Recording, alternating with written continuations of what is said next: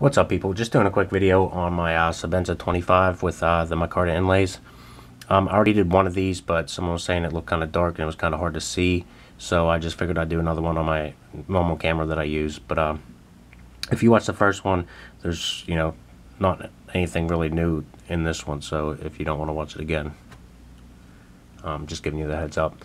But uh, basically a lot of people say the 25 inlays are ugly. Um, I don't think they're like butt ugly or anything like that, but I do agree with people that, you know, the 21 inlays look a lot better. Um, I definitely think they could have went with like a one piece or something like that that would have made it look a little bit better than it does. That being said, and like I said before, I don't think it's like ass ugly. But um, as far as why I bought it is basically I like all my Sebenzas inlaid. Um, I had a plain 25. I actually really like that too. And, you know, um, but I still do prefer this one over it just because why I like the inlays on all of them is the little extra thickness it adds to the handle. Um, I, I, think for me in my grip it definitely feels better in hand and I like that little extra beefiness that the inlays even though it's not that significant it definitely feels better to me in the hand. But uh, so it accomplished that for me, and I really do. I mean, I love this knife. Um, this one's nice and smooth. Um, you know, I don't mess with the washers or anything like that. I just break them in. And um, so no complaints there. I put a nice edge on it. But um, I will say this, just so you know, um, on the 20, the differences between the 25 and the 21 are, have been noted in videos before, but uh, I just wanted to, you know, let this, uh, put this out here too, is, um, you know, the maintenance part of it, taking them apart. The 21 far exceeds that. I mean, you just take the screws out, clean it, do whatever you got to do, put it back in, put the screws down, tighten them down, you're done. And uh, I do think the 21 is a, a, little bit smoother than the 25. Um,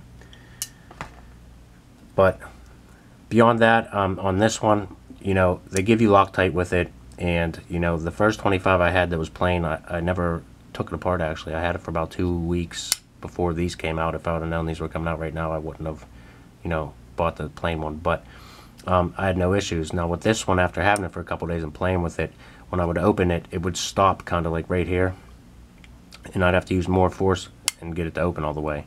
Um, I could flick it open all the way just because of the amount of force but when I'd shut it it would stop right there too and then I'd have to push it closed. And, you know, I'm wondering what the hell's wrong with this thing. And I looked at it, and the stop pin, somebody else has probably said this out there before, but if you can see there, I'll try to get it to focus. But the stop pin has a flat spot on it, and the flat spot is not to contact the tang of the blade when it actually stops. It's literally just for clearance. Like as you can see there, how tight that fit is right there.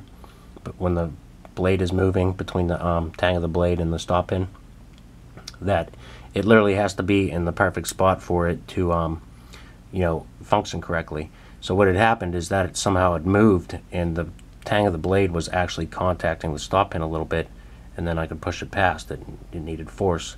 So I took it apart um, cleaned it up while I had it apart and then I put it back in got it fit right and then I Loctite well I Loctited it got it to fit right and I Loctite the pivot and I've used it for a couple days now and uh, I've had no issues. Um, that being said, you know, I really love the 25 and I will say one other thing. For some reason on this micarta one compared to my plain one that the pocket clip seemed to dig in my hand a little bit more, that it was, you know, protruding a little bit more. It just felt that way. I bent the tip of the clip down a little bit and now I can't feel it at all. But on my plain 25, I don't know if that was just an oddity or whatever. I'm sure it was, but for me, I noticed it and I bent it down. My plain 21 I, was fine. But overall, I really like it. Um, and it is what it is. You know, I still love the um, 21. Um, just ease of maintenance and it's a little bit smoother. But um, I definitely like the little extra added beefiness on the blade here on the 25 and, you know, the ceramic uh, detent and, I guess, lock interface you call it, I don't know.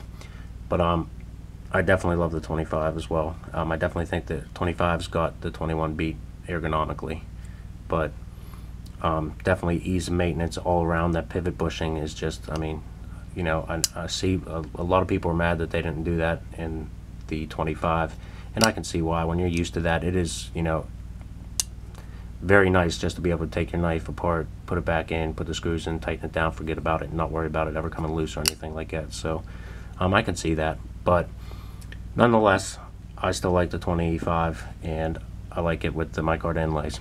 But that's it, people. I'm out.